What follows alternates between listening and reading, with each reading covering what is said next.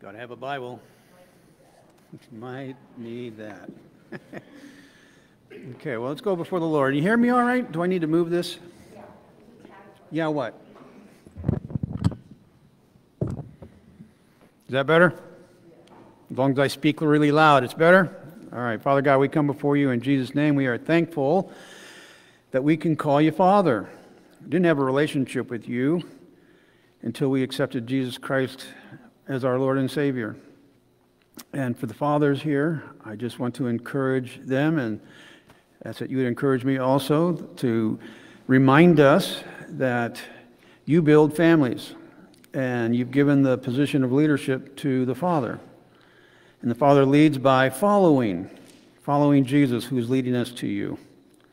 So we ask that you would strengthen and, and comfort the fathers as we walk with you, be it imperfectly, yet day by day being conformed into the image of Jesus Christ, that we would lead our families by example, by word, and that may you be glorified in our lives. And whether we be husbands or wives or widows or orphans or whatever, we all have a Father in heaven who is perfect and who loves us. And we honor you. We thank you. We thank you for the word that you've given to us. We ask that you'd give us the gift of teaching that we would understand your heart. In Jesus' name we pray. Amen. All right, so if you join me in Acts chapter 26,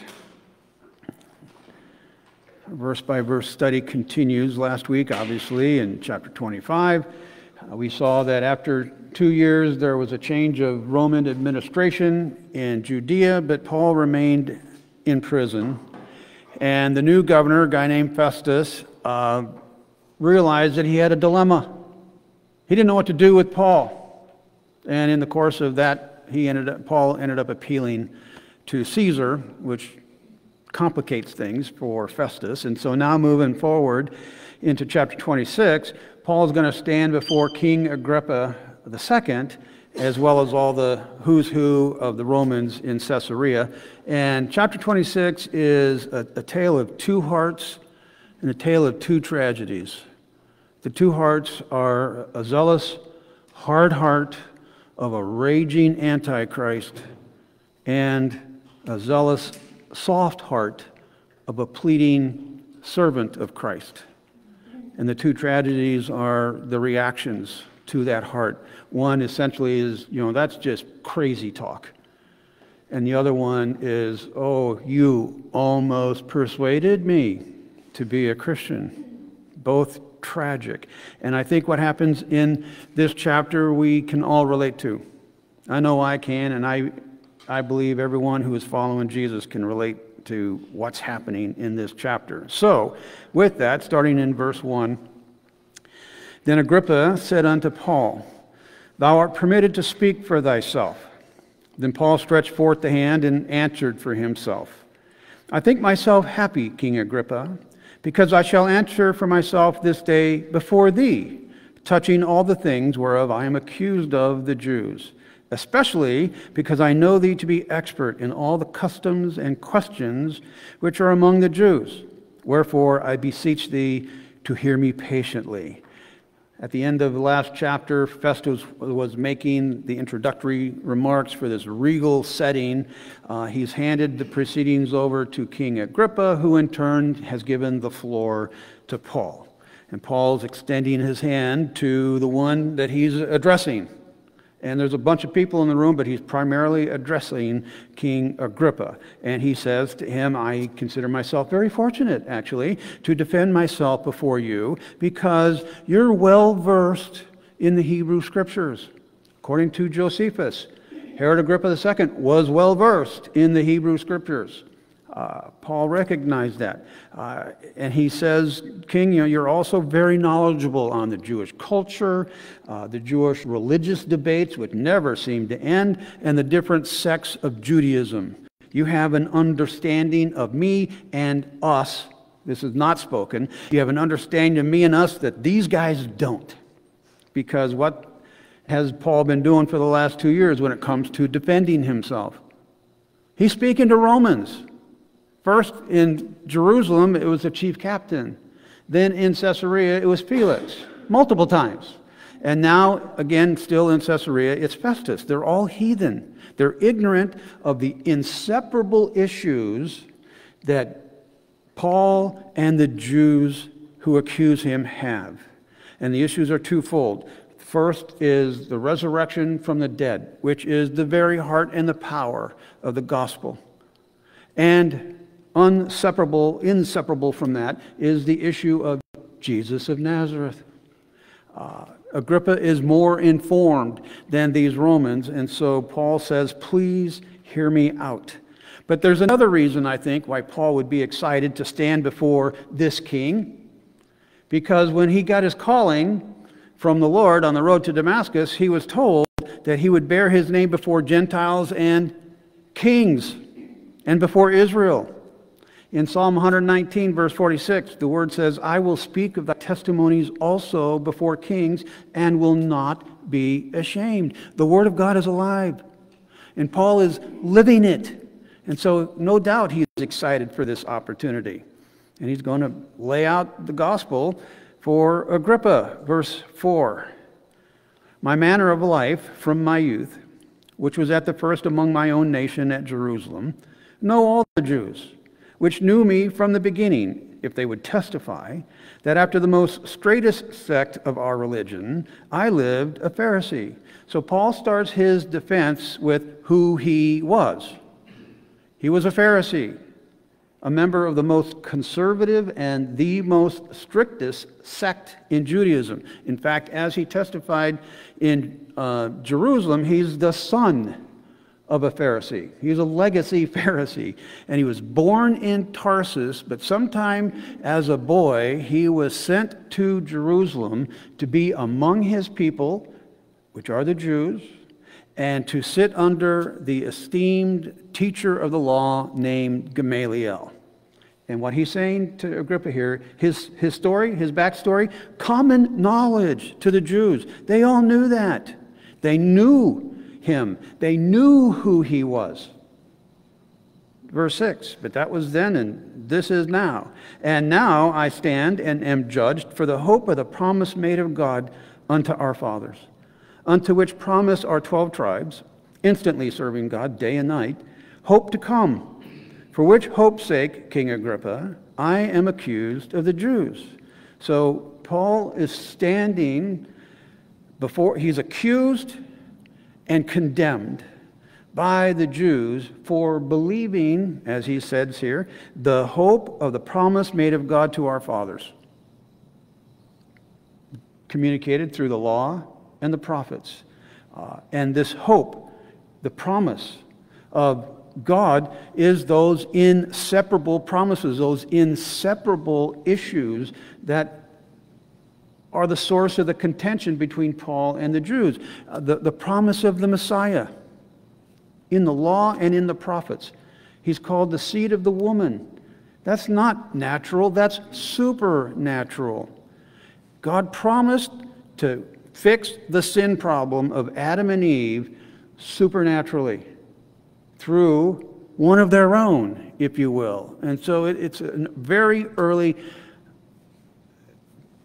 and vague, because it's early, declaration that the, the solution to man's sin problem is going to be the Son of God and the Son of Man, as revealed through the righteous line that starts with Adam and then Seth, and then Noah, and then Shem, then Abraham, Isaac, Jacob, Judah, David, and that's all by faith. Righteousness, which is by faith. In, in the, the law, he's called the star out of Jacob. In the law, he's called Shiloh. He's called the lion of Judah. He's the son of David. In the prophets, he's the ruler that comes from everlasting, the ruler in Israel that comes from everlasting. He comes from eternity to Israel. In the prophets, his name is Emmanuel, which means God with us. He's going to be born of a virgin. He is named Wonderful Counselor, the Mighty God, the Everlasting Father, the Prince of Peace. That's who the Messiah is, as God told Israel through the law and the prophets. Paul has a hope, as do the Jews, that God's going to make good on his word. But also, the other hope, the other promise of God is the resurrection of the dead. Uh, one of the very earliest books in the Bible is the book of Job. We all know his story, uh, but in chapter 19, verses 25 through 27, he, he's crying out to the Lord. He says, For I know that my Redeemer liveth, and that he shall stand at the latter day upon the earth. And though after my skin worms destroy this body, yet in my flesh shall I see God, whom I shall see for myself. And mine eyes shall behold, and not another, though my reins be consumed within me. The promise of the resurrection proclaimed by Job in the very beginning. The prophet Daniel said in the latter times, uh, Michael, the archangel, he's going to stand up uh, for the people of Israel.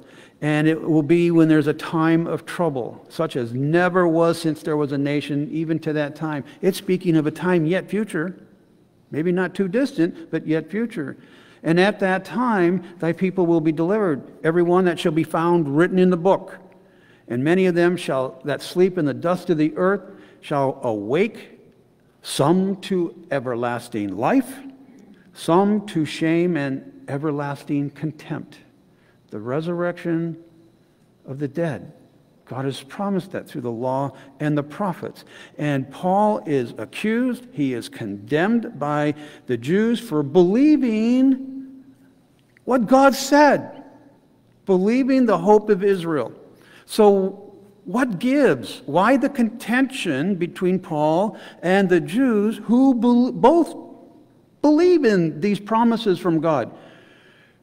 Well, Paul believes that the hope, the Messiah, the resurrection of the dead, he believes that hope has come in Jesus Christ and in his resurrection. The Jews, on the other hand, uh, they believe it will come. Notice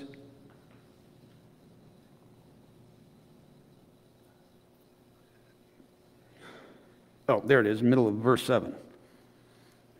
Unto which promise our 12 tribes instantly serving God and day and night hope to come. The, believe, the, the Jews believe that the Messiah is going to come. The resurrection is going to come. Hasn't come yet. Which means, nope, Jesus is not the Christ, the Son of the living God. And nope, he, he was not raised from the dead. They deny all those things. So it, the, the conflict has everything to do with Jesus. Verse 8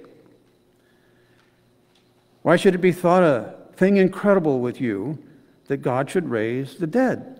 Remember, Paul extended his hand to Agrippa. He's speaking directly to Agrippa. He's speaking personally to Agrippa. And he pointedly asks him why he, who is familiar with the Hebrew Scriptures, why would he think it incredible meaning untrustworthy or not believable. Why would he think it not believable that God should raise the dead? It's a rhetorical question. He's not looking for an answer from Agrippa. It's as if he's saying, you know, it goes without saying, King Agrippa, that God raises the dead, right? And, and he moves on. But here we have so far in, in Paul's account, uh, his, his backstory, verses 4 and 5, was common knowledge of the Jews. They knew him, uh, they knew how he was. And the Jews loved Saul of Tarsus, but they hate Paul the Apostle. And they accuse him and condemn him for believing in what God has said and done. And this is the very issue that I, and I dare say every one of you, has with unbelieving loved ones. Uh, speaking personally, you know, my loved ones that do not believe that Jesus is the Christ, the Son, living God, do not believe in the resurrection of the dead. They knew me before I knew Jesus. They knew me for 34 years. They had decades of history with me. How I thought, how I spoke, how I lived, and all of a sudden, it's all different. Uh, and they don't get it. They don't believe it. And they, not maliciously per se, not savagely, not even disrespectfully most times. Uh, they stand in judgment of my hope in what God has promised uh, and what He has done for me. God has nailed pre Jesus Doug to the cross of Christ. He has forgiven me of all my sins. They are as far as east is from the west. And He has made me, I didn't make myself, He made me dead to sin and alive to God. That's what God has done. Uh, but because they don't believe what God has said, uh, they think that God raising from someone from the dead is uh, incredible. It's not trustworthy. Uh, it's unbelievable. In fact, they don't believe even believe in God. They're atheists. We, they're agnostics. We were raised in the Roman church. It drove us all away. All away. Out in, it drove me into the world. But there's pain and suffering in the world, and that pain and suffering drew me to the foot of the cross. They're out there still. They're atheists, they're agnostics, they're without faith in a creator, even. They've rejected the revelation of God that He's given of Himself to them.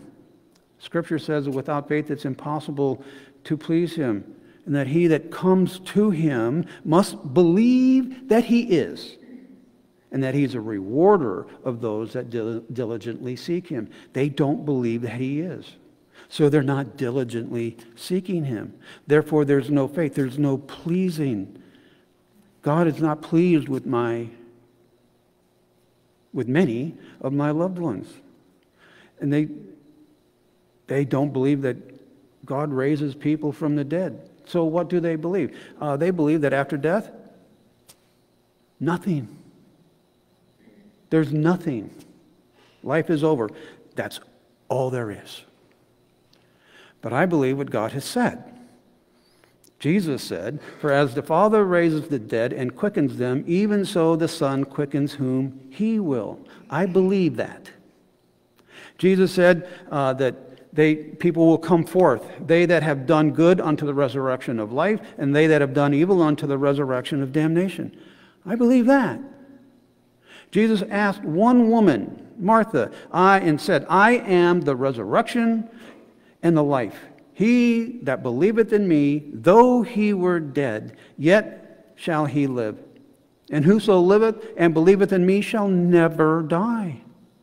Believest thou this? I do. And so to believe, that's good. And that leads to the resurrection unto life. To not believe is evil, but leads to the resurrection of damnation. So I believe what God has said. And my unbelieving loved ones think I'm kind of absurd and simple minded in that way. Verse 9 I verily thought with myself that I ought to do many things, excuse me, many things contrary to the name of Jesus of Nazareth which thing I also did in Jerusalem. And many of the saints did I shut up in prison, having received authority from the chief priests. And when they were put to death, I gave my voice against them. And I punished them off in every synagogue, and compelled them to blaspheme. And being exceedingly mad against them, I persecuted them even unto strange cities. Paul says, This is who I was, and now this is the situation. And then he, what's the difference? He segues into his personal testimony. He was a zealous, hard hearted, raging antichrist as he so testified to and reminded the churches in Galatia. That letter he wrote to them uh, in chapter 1, verses 13 and 14. He said, For you have heard of my conversation, my lifestyle, in time past in the Jews' religion, how that beyond measure I persecuted the church of God and wasted it and profited in the Jews' religion above many of my equals in my own nation, being, being more exceedingly zealous of the traditions of my fathers.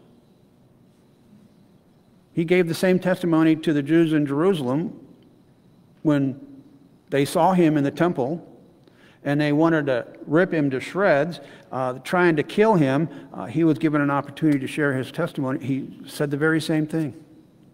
You know, I, I know where you're coming from because I was just like you. I thought just like you. And the Jews know that full well. They know who he was. They knew how he fought, and they loved him for it. But, you know, and, you know, that even included voting for their execution. Stephen, right? After an inspired Bible study, they stoned him. Paul's holding the coats. Oh, and apparently uh, others were killed also. We don't have their names, but he saw to it that they were killed also. Uh, he even hunted Christians far and wide, not only in Judea, not only in Samaria, but also into Gentile cities, including Damascus, which, starting verse 12, Whereupon, as I went to Damascus with authority and commission from the chief priests, at midday, O king, I saw the way, saw in the way a light from heaven, above the brightness of the sun, shining round about me and them which journeyed with me. And when we were all fallen to the earth, I heard a voice speaking unto me, and saying in the Hebrew tongue, Saul, Saul, why persecutest thou me? It is hard for thee to kick against the pricks. So, this licensed hunter is on his way to Damascus to get some of these people and bring them back to Jerusalem to be punished. And this raging Antichrist became the target of a spotlight from heaven, brighter than the noonday sun. And he became the target of someone speaking directly, personally, and exclusively to him because the conversation was in Hebrew. And from the other accounts, we know that others with him heard the voice, but they didn't understand what was being said because the conversation was in Hebrew. And the voice asked him a piercing question and made a very convicting statement about his life. The piercing question is this zealous persecution of the followers of Jesus of Nazareth was taken quite personally by this voice speaking out of heaven. Why are you persecuting me?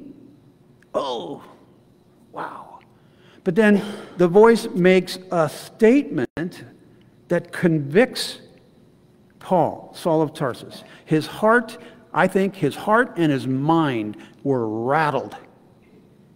He was unsettled in his heart, his soul, maybe even his spirit by Stephen. The wisdom of Stephen, his, his teaching and his testimony. When, when Stephen and, and, and others were spirit filled guys set to minister to the people, uh, Jews came against him. And in Acts chapter 6, verse 10, it says, And they were not able to resist the wisdom and the spirit by which he spake. They couldn't, they were no match for Stephen in a conversation relative to the things of God. He had great wisdom, which of course comes with the Holy Spirit. And then they called him before the council, and he very wisely takes them through the pattern in Scripture about first and second comings, if you will. And when he was done, uh, he said, Behold, I see heavens open and the Son of Man standing at the right hand of God. And the council lost their mind and they stoned him. And as he was dying, he kneeled down and cried with a loud voice, Lord, Lay not this sin to their charge. And we had said this, he fell asleep. watching, listening, all of this was Saul of Tarsus. And it rattled him. And this voice from heaven knew this and testified to Saul that he had been shaken by Stephen, yet he's been hard heartedly fighting against the truth that he heard and he saw that day. Saul has been opposing himself. He's been rebelling against the, the pricks, the goads of the good shepherd, the, the master who's pricking his heart with the truth and with the conviction of sin. And now he's called out on it. The voice from heaven has revealed his heart, what's in his heart. Uh, and I think we all have loved ones who are kicking against the goads of the Master, who's long suffering, wants them to come to the knowledge of the truth. He doesn't want them to perish, He wants them to come to repentance. But they're kicking against the goads. Verse 15. And I said, Who art thou, Lord? And he said, I am Jesus, whom thou persecutest. So, the target of a spotlight, the target of a voice, the only natural question is, Who are you? What's the name? What's the name of the voice? It can only be the Lord God. The, the English word there, Lord, underneath it is the Greek word kurios, which means supreme authority. From the earlier account, we know that the conversation is in Hebrew. The Hebrew equivalent would be Adonai, which is how the God of Israel was personally addressed. He knows he's personally addressing the God of Israel. Who are you? What is your name? I am, ding, ding, ding, ding, ding, Jesus. I am the one of whom Stephen testified. You heard that testimony. You didn't believe it. You've been kicking against it. Uh, and who you are persecuting is me because me and my own are one. Verse 16. But rise and stand upon thy feet, for I have appeared unto thee for this purpose, to make thee a minister and a witness both of these things which thou hast seen, and of those things in the which I will appear unto thee.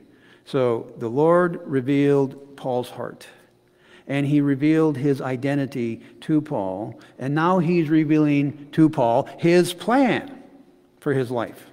And it begins with the what? What are you going to be? I'm going to make you a minister. I'm going to make you a servant. Which can only happen after you've had a good old helping of humble pie. And I'm going to make you a witness. I'm going to make you a witness of the things that you've seen today. This light, the voice. You're going to be a witness of these things. And here we are downstream sometime. He's doing that. He's doing that before King Agrippa. He's done it before. He's doing it again now. He goes, But I'm also going to make you witness of the things to be revealed to you in the future. And Paul spoke of that in 2 Corinthians chapter 12. Uh, he says, Lest I should be exalted above measure through the abundance of the revelations, there was given to me a thorn in the flesh, the messenger of Satan to buffet me, lest I should be exalted above measure. I'm going to make you a servant. Here's a piece of humble pie. You're going to like it. And I'm going to keep serving you humble pie. I'm going to keep you humble.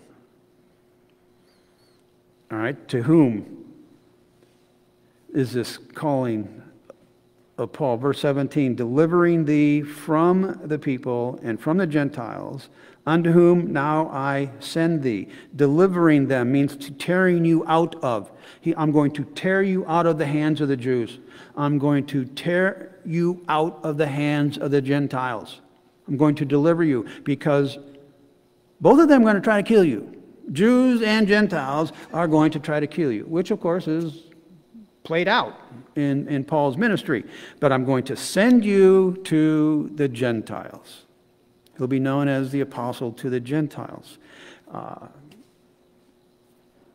verse 18 What's the purpose in being a minister? What's the purpose of being a witness? What's the purpose of being sent to the Gentiles? To open their eyes and to turn them from darkness to light and from the power of Satan unto God, that they may receive forgiveness of sins and inheritance among them which are sanctified by faith that is in me.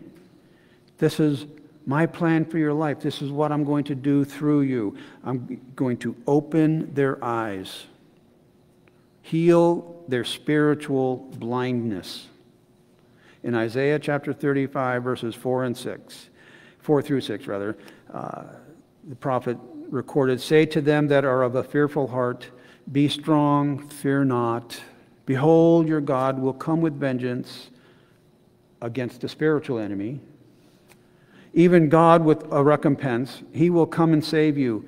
Then the eyes of the blind shall be opened, and the ears of the deaf shall be unstopped. Then shall the lame man leap as a hart, and the tongue of the dumb sing.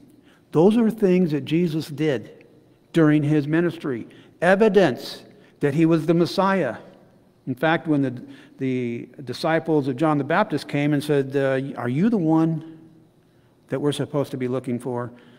Jesus quoted this verse. He'd been doing this. He'd been doing it physically. He was also doing spiritually. But the work that began continued after he ascended back to the right hand of the Father and the Holy Spirit came and the church was born. Out they went to continue the work. And there, of course, were miracles. But the miracle is a spiritual one to heal their spiritual blindness. And Paul wrote about that in 2 Corinthians chapter 4. He says, If our gospel be hid, it is hid to them that are lost, in whom the God of this world has blinded the minds of them which believe not, lest the light of the glorious gospel of Christ, who is, in the, who is the image of God, should shine unto them. What is the spiritual problem of my unbelieving loved ones? A blinded mind. In Ephesians, we're told that the Gentiles walk in the vanity of their mind, having their understanding darkened, being alienated from the life of God through the ignorance that is in them because of the blindness of their heart. Blinded mind, blinded heart, blinded eyes. are going to open their eyes. I'm going to turn them from darkness to light. Darkness, lies, and unbelief that kill the spirit, to light, truth, and faith that enliven the spirit. Darkness, hatred that darkens the soul, to love that enlightens the soul. In Colossians chapter 20, Colossians chapter 1, we're told that he's delivered us from the power of darkness and has translated us into the kingdom of his dear Son, who is the way, the life, and the truth. In him is the life of men, and that life is light. I'm going to turn them from the power of Satan unto God, from eternal death to eternal life. We read in Hebrews chapter 2 that Jesus took part of the flesh uh, because the descendants of Adam and Eve uh, are mankind. So he became partakers of the flesh and blood, uh, that through death he might destroy him that had the power of death, that is, the devil, and deliver them who through fear of death were all their lifetime subject to bondage. I'm going to turn them from the power of Satan to the power of God. The power of God is the resurrection unto eternal life. That going on, what, what else? Uh, they're going to receive the forgiveness of sins. Uh, grace. Peter, when he was addressing the crowd in Jerusalem in the very early days of the church, in Acts chapter 3, verse 26, he said, God, having raised up his son Jesus, sent him to bless you in turning, every, turning away every one of you from his iniquities. the turn from sin to God. And we're, it, it, it's, that's God's grace in action. And by grace are we saved through faith. That not of ourselves, it's the gift of God, not of works, lest anyone should boast. Oh, and they're, finally, they're going to receive inheritance. The inheritance is eternal life. They're going to receive inheritance from among them that are sanctified. To be sanctified is to be made holy, is to be set apart for God's purpose. How are they sanctified? How are we sanctified? By faith, trusting Jesus, leaning on Jesus. Gospel of Christ. What is the gospel of Christ? Romans chapter 1 it's the power of God unto salvation to everyone that believes, to the Jew first and also to the Greek. For therein is the righteousness of God revealed from faith to faith.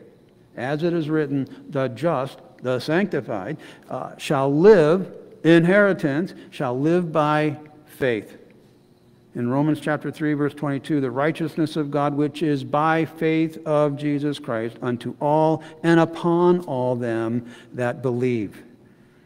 So, moving on, verse 19. Whereupon, O King Agrippa, I was not disobedient unto the heavenly vision, but showed first unto them of Damascus and at Jerusalem, and throughout all the coast of Judea, and then to the Gentiles, that they should repent and turn to God and do works meet for repentance. So, hearing Jesus speak to him personally, first asking him a very piercing question, and then making a statement about him that revealed the contents of his heart, and then recommissioning his, his, his life, what did Paul say to King Agrippa about what he did? Uh, well, I believed. I obeyed. No hesitation, no argument, no negotiation. He said, Go, I went. What happened? Jesus offered Saul of Tarsus the gift of repentance, and Saul accepted it. Saul had an encounter with the living God. He had an encounter with Jesus, and he was radically and forever changed. He is no longer a zealous, hard hearted, raging antichrist but he is a zealous, soft hearted servant of Christ. He's not the persecutor anymore, he's the preacher. He's not the hunter anymore, he's the hunted. And where did that happen? Right where he was. Starting in Damascus, then he got back to Jerusalem, and he went beyond there. And everywhere he went, he preached repentance toward God. Think differently have a right mind. Turn to God, turn to face the Son, and be a doer of the word, not hearers only. The, the things that you do are, are proof of the change that's been accomplished by God. The things that you do don't make you pleasing to God. Believing what God has said and God has done, that makes Him pleased, and evidence of that is what you do. You've been preaching that everywhere. Verse 21 For these causes the Jews caught me in the temple and went about to kill me. Having therefore obtained help of God, I continue unto this day, witnessing both to small and great, saying none other things than those which the prophets and Moses did say should come, that Christ should suffer, and that he should be the first that should rise from the dead and should show light unto the people and to the Gentiles. And Paul is now saying, because of the intervention of, by Jesus Christ in my life, by the calling of God put upon my life, and by my obedience to the calling of God, I got shanghaied in the temple and almost killed. That's resulted in all of this. But God, but God helped me. God helped Paul with escape and protection and giving him the very best spiritual gift that he needs, giving him his words to say when he needs them to be said. He made God made good on his promise in verse 17 to deliver him from the people and from the Gentiles. And now, with God's help, Paul is saying, I continue to be faithful to my calling. In spite of all the trouble, in spite of all the suffering, I know what God told me to do, I'm doing it. And so he witnesses to everyone because it is God's heart that all would come to the knowledge of the truth and be saved. And besides, he's not spouting off his opinion. He's not rambling on about some philosophy or some tradition of men. What he's preaching is the Word of God. What the law and the prophets said, and what they foretold about the Christ. And they foretold that Christ must suffer. Where? Well, Genesis 22, Psalm 22, Isaiah 53, Daniel chapter 9, the Christ must suffer, and he must be the firstfruits of the resurrection unto eternal life. And he must declare the light of God's truth to both the Jews and the Gentiles. That's what's been said by Moses, that's what was said by the prophets, that's what Paul's saying to the people. He is sharing the word of God.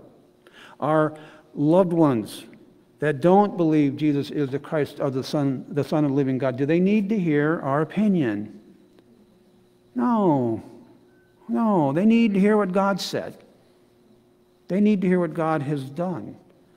They might even need to hear what God is going to do.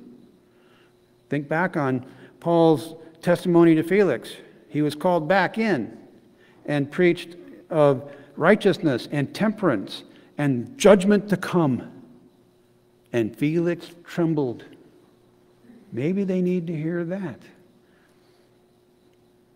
Verse 24.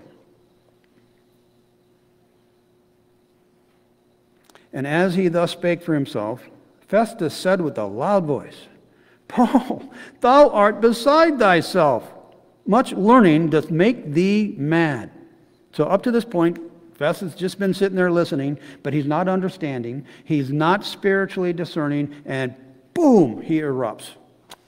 Paul, you are a raving maniac. All that holy book learning of yours has made you crazy.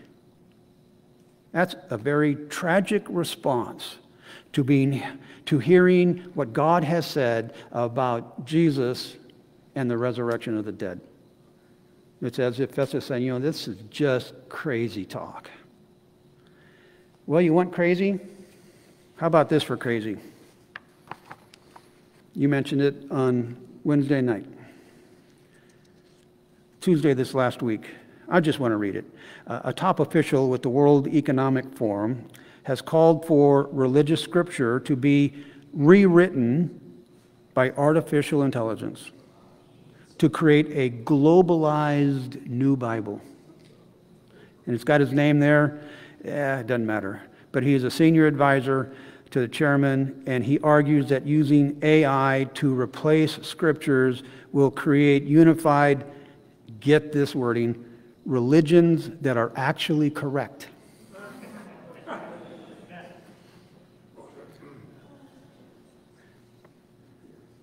He said uh, the power of AI can be harnessed and used to reshape spirituality into whose vision? A man's vision. Yeah. He said this is the first technology ever that can create new ideas. The printing press, radio, television, they broadcast, they spread the ideas created by the human brain, by the human mind. They cannot create a new idea. You know, Gutenberg printed the Bible in the middle of the 15th century. The printing press printed out as many copies of the Bible as Gutenberg instructed it, but it did not create a single new page. It had no ideas of its own about the Bible. Is it good? Is it bad? How to interpret it? How to interpret that?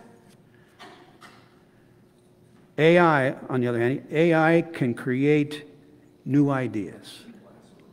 It can create a new it can write a new Bible. Quote, throughout history, religions dreamt about having a book written by a supernatural intelligence, by a non human entity, In a few years, there might be religions that are actually correct. Just think about a religion whose holy book is written by AI, and that could be a reality in a few years. How's that for a strong delusion? There's a strong delusion coming upon the earth. How's that one? That's pretty intense. Uh, during the time of the counterfeit Christ, there's one world government and there's one world religion. How's that going to happen? Is this going to happen? I don't know. That's crazy talk. Because we have words that come from a supernatural intelligence. People just don't believe it. It's bizarre the times in which we live. Anyway, coming back to, yeah, absolute blasphemy. coming back to the words of the living God, verse 30, uh, 25. But he, that would be Paul, said, I am not mad, most noble Festus, but speak forth the words of truth and soberness. For the king knoweth of these things, before whom also I speak freely. For I am persuaded that none of these things are hidden from him. For this thing was not done in a corner. See, Paul had been a raving maniac, but he's not now. He's in his right mind. And so when he's accused of being a raving maniac, he go, no, no, no, no. These are not, my words are not the words of a madman. These are the words of God, the words of truth and right mindedness. And he speaks of King Agrippa, who has a knowledge, a working knowledge of the law and the prophets. Uh, and he says to Festus, Agrippa knows these things. What I'm saying, Agrippa knows these things. After all, God didn't do anything in a corner, He didn't do anything in secret. But He did what He did in plain sight before whomsoever would see for the eyes that would see. Then he turns to King Agrippa, verse 27. King Agrippa, believest thou the prophets? I know that thou believest. Now, my professional training uh, was in, believe it or not, in technology. I am so far behind. I, I, I, technology befuddles me now. But my professional training when I got out of college was technology. And I was in technical sales assist, and then I got into sales because there was more money in it, quite honestly. And so I read this in that frame of reference. What's Paul doing? He's asking for the order, he wants to close the deal. Do you believe the prophets of God? And then he gives a presumptive close. Well, I know that you believe. So, sign on the dotted line, kind of a thing. Verse 28 Then Agrippa said unto Paul, Almost thou persuadest me to be a Christian. Wow. How painfully tragic are those words. Paul, you almost persuaded me to be a Christian. That was a very good presentation. That's a nice little convincing speech you gave me, but I ain't buying what you're selling. And what is Paul selling? Verse 18 to open their eyes and to turn them from darkness to light and from the power of Satan unto God, that they may receive forgiveness of sins and inheritance among them which are sanctified by faith that is in Jesus. That's what he's offering. And Agrippa says, I ain't buying it. Agrippa made a choice. He wanted his sin instead of God's salvation from sin. He wanted eternal death rather than eternal life. He wanted darkness rather than light. And that resonates in me personally also. To hear those words, you almost convinced me to be a Christian. Uh, one of my sons uh, does not believe. Uh, he was over at our house for Thanksgiving a number of years ago. And we had a wonderful conversation out on the back patio. Really, he opened up for, for the first time. I've been working on and working on it. He opened up for the first time. And after a couple hours, he went away and he sidled up alongside another one of my sons and said, You know, Dad's a very smart guy. He answered all my questions, he answered all my objections, and it makes me mad. Does not believe. Will not see. Blinded mind, blinded heart. As if he said he almost persuaded me to be a Christian. And I've got a sibling whom I mentioned last week, not last week, last month, when I talked to her. And, and she's, she's atheist. Um, she acknowledged in the course of our conversation that the world is all messed up and mankind has no answers. Mankind cannot fix it.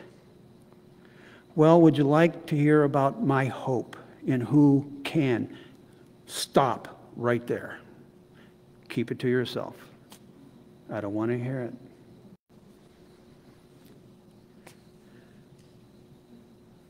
The unbelievers choose sin over God's salvation for sin. They choose eternal death over eternal life. They choose darkness instead of light. It's tragic. Verse 29. And Paul said, I would to God, not only thou, but also all that hear me this day, were both almost and altogether such as I am, except these bonds. This zealous, soft hearted servant of Christ is pleading with Agrippa and all those are in the room. I pray to God that all of you, not just almost, but completely and wholeheartedly surrender to the Lordship of Jesus Christ and follow Him just as I have. Be ye transformed by the renewing of your mind. Ye must be born again of the Spirit of God. Be ye reconciled to God. He's pleading with them. There's two tragedies in the audience Festus you know, that's just crazy talk, Paul. Then Agrippa, you almost, almost persuaded to me, persuaded me to be a, a Christian. Grieved Paul. It grieves God. It grieves me. It grieves you. But God is still working, is He not? All our unbelieving loved ones, they still have breath. God is still working. So there's hope. And that takes me to uh, my father on this Father's Day when he was dying. I was 40 years old, living in Southern California. They lived in Oklahoma. I came out to see him, knowing it's going to be the last time. And he and I were sitting in the living room, and I said, Dad, so what happens when you die? And he goes, Well, you know, I'm just going to float around the air like everybody else does, which is what Edgar Cayce taught, his parents being disciples of Edgar Cayce, a, a fortune teller, if you will. He was a computer guy. Uh, he worked on hardware before he wrote software. So I relate, what the Lord gave me was to relate these things to what he knew. I related the spirit and the flesh to computer software and computer hardware. Computer software has no mass, and so theoretically, it can't decay. It won't die. It's like the spirit, if you will, in an, an analogy. Uh, then hardware, computer hardware, constant need of repair. And then it gets outdated and then it becomes useless.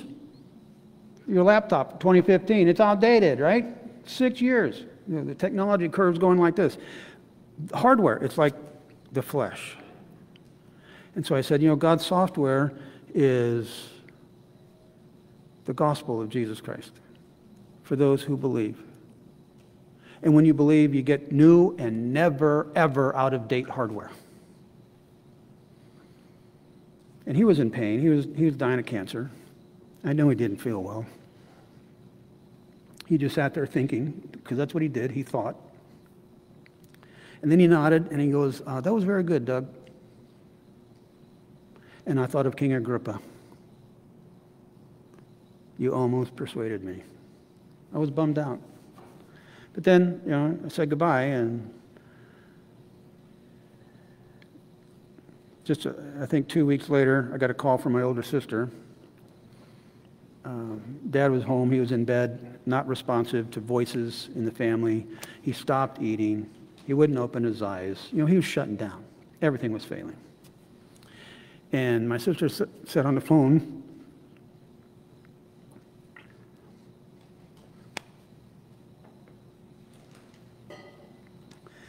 uh, Dad's dying. If you have anything to say to him, this is your last chance. So I took the phone. I have no idea what I said. I was so numb. I still don't have any idea what I said. And hung up. Well, she called me back the next day. And she said, um, You know, I don't know what you said to dad, but when he heard your voice, he opened his eyes, he sat up, and he listened. And then he went wanted something eat. Did my dad have an encounter with Jesus after I witnessed to him? I don't know. I have a hope, a confident expectation. Uh, so God is still working in all of our loved ones who do not believe, who have not bent their knee nor confessed with their tongue. God is still working. And so please don't ever give up. Keep sharing the Word of God. Keep living the Word of God. Keep sharing your personal testimony because we must not strive. As the servants of the Lord, we must not strive, but we must be gentle to all men, apt to teach, patient in meekness, instructing those that oppose themselves. Those who do not believe that Jesus is the Christ are opposing themselves. They're kicking against the goads. We are to instruct them peradventure God would give them the gift of repentance and to the acknowledging of the truth, that they would recover themselves out of the snare of the devil who has taken them captive at his will. You know, our personal testimonies, as was Paul's, our personal testimonies may not be liked. They will probably be mocked, but they can't be denied and they were shared and shared faithfully by Paul before Festus and Agrippa, both of which answered tragically. But Paul was not responsible for their choice. They are responsible for their choice. We're not responsible for the choices of our loved ones. They're responsible for their choice. But we're responsible to know Jesus and to make him known. And we do that with many tears. Do we not? Verse 30. And when he had thus spoken, the king rose up, and the governor, and Bernice, and they that sat with them. And when they had gone aside, they talked between themselves, saying, This man doeth nothing worthy of death or of bonds. Then said Agrippa unto Festus, this man might have been set at liberty if he had not appealed unto Caesar. The whole point of chapter 26 was to have Paul examined by Agrippa to help Festus write down a legal brief to send with Paul to Caesar. Well, he got no help. He got no help from Agrippa. Festus still got a problem. Okay, what do I send to Caesar about this guy? Uh, well, what has he heard a couple of times? What could he say? Oh, well, he could write to Nero about the resurrection from the dead. He could write about Jesus of Nazareth. Well, he ain't going to do that. But here we have Paul at the end of all this. He's under the protection of the Roman Empire, who will protect him from his enemies. And they're going to take him to Rome which is exactly what Jesus said he was going to do. So God's will, God's way, much higher than our thoughts. But in chapter 26, we have the tale of two hearts resident in the life of every regenerated follower of Jesus Christ. Once a hard hearted antichrist, supernaturally converted to a soft hearted servant of Christ. And we hear the tale of two tragedies frequently. Oh, that's just nonsense. That's just crazy talk. Or, Well, you almost had me there. That's good, but I'm not buying what you're selling. You know, following Jesus comes with many tears tears of joy and tears of agony. You know, in Matthew chapter 7, Jesus said, Enter ye in at the straight gate, for wide is the gate and broad is the way that leadeth to destruction, and many there be that go in thereat. Because straight is the gate, and narrow is the way which leadeth unto life, and few there be that find it. If you're following Jesus, you found the narrow path that leads to life, tears of joy. But we have people in our lives who aren't on that path, they're on the broad way that leads to destruction, tears of agony. Jesus said to Nicodemus, God so loved the world that he gave his only begotten Son, that whosoever believeth in him should not perish, but have everlasting life. Tears of joy. For God sent not a Son into the world to condemn the world, but that the world through him might be saved. He that believeth on him is not condemned. Tears of joy. But he that believeth not is condemned already, because he has not believed in the name of the only begotten Son of God. And this is the condemnation that light has come into the world, and men loved darkness rather than light because their deeds were evil. Tears of agony. But God, He is still working. Is He not? If you'll stand with me, please.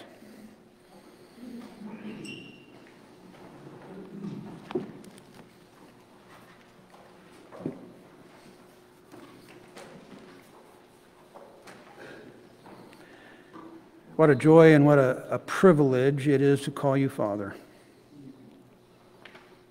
We weren't your father once. Our father was the devil. But there's been an intervention. There's been a brokenness at the foot of the cross, and we rejoice in that. And Father, now we lift up all our lost loved ones uh, who you died for. We didn't. You love them more than we do and their, their stubbornness and the blindness of their mind, the blindness of their heart is heartbreaking to us, and we know it's heartbreaking to you. We're filled with questions. Will they come to the truth before they take their last breath on earth? Will they stop kicking the goads and bend their knee and confess that Jesus is the Christ? Before the rapture? After the rapture?